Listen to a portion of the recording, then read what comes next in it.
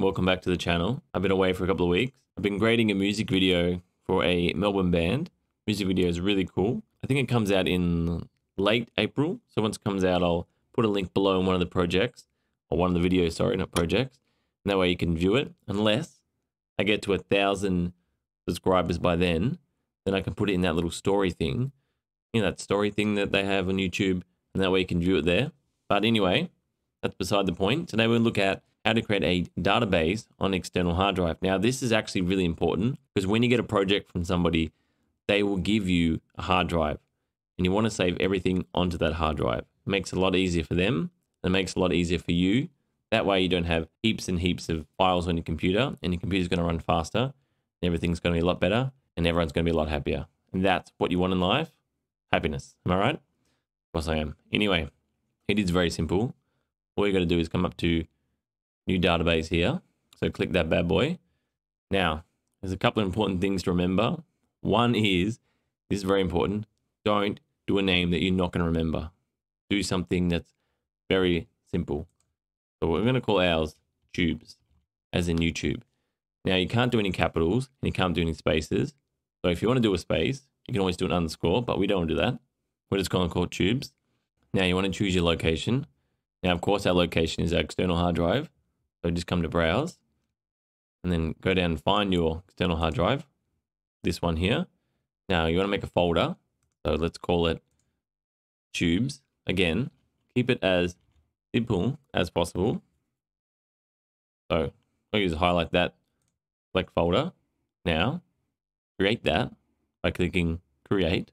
Now you have your little project. Come back to our main screen here, our little project here. And let's name this project. Why not? And again, we'll call it Tubes. I feel like Tubes is a really dumb name, but I've committed to it. now that's what it is. Alrighty, so now we have our project and everything's great.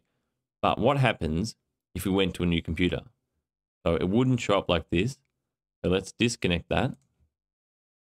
Now we're back at our main screen. And as you can see, we don't have a hard drive. That's because it's been disconnected. So let's say that we've moved to a new computer. So maybe we've gone to the cinematographer's house or the director's house and they have DaVinci and they want you to make a couple more corrections and you're like, no worries. Let's connect that bad boy up again and then let's grade it. So you want to reconnect that hard drive. And again, it's very easy. All you got to do is come up to connect database up the top here, click that. Now come down to your location, which will be your hard drive here, highlight that folder again, and then go select folder and then have a similar name or the exact name, sorry, so again, tubes, connect. So as you can see, we have our project back. Everything is back to where it was. We don't have a problem whatsoever. And everyone's happy. And like I said, always good to be happy. So that is a technique you will have to learn if you want to be a freelance colorist because you will just get a hard drive most of the time from people. Sometimes I will just get a single high res clip and I'll use scene cut detection to cut it up and then grade like that. I have a video on that.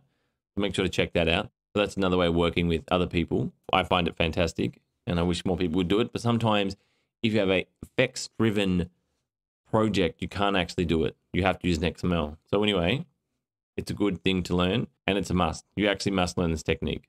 There's no way around it. It's something you need to do.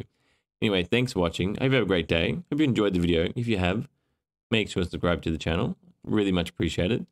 And drop a comment below on anything you want to see. I've been Drew from Green Goat Productions, and have a great day.